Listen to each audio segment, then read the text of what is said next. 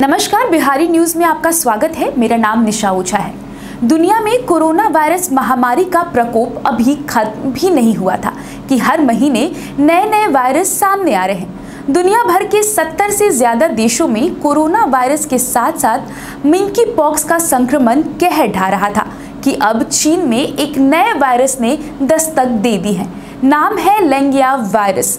जानवरों और पशुओं से फैलने वाला ये लेंगिया वायरस की पुष्टि चीन के कुछ शहरों में हुई है।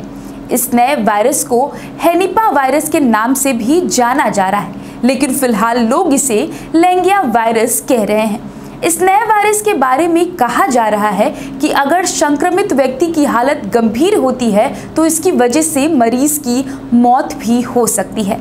लेंगिया वायरस कोई नया वायरस नहीं है। इसके पहले प्रकाशित एक रिसर्च में कहा गया कि लंगिया वायरस पहली बार इंसानों में साल 2019 में पाया गया था।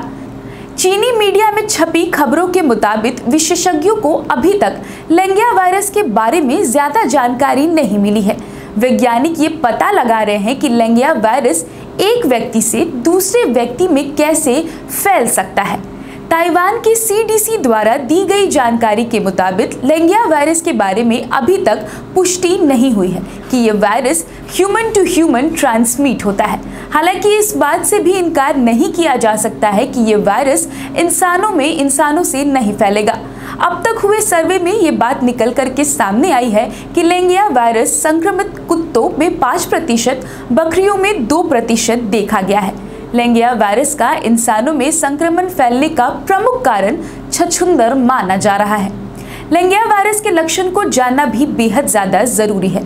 New England journal of medicine में प्रकाशित एक शोध में कहा गया है कि चीन में मिले लेंगिया वायरस का संक्रमण होने पर मरीज़ में सबसे ज़्यादा बुखार की समस्या सामने आई है। जाँच में ये कहा गया कि लेंगिया वायरस का आम लक्षण बुखार ही है।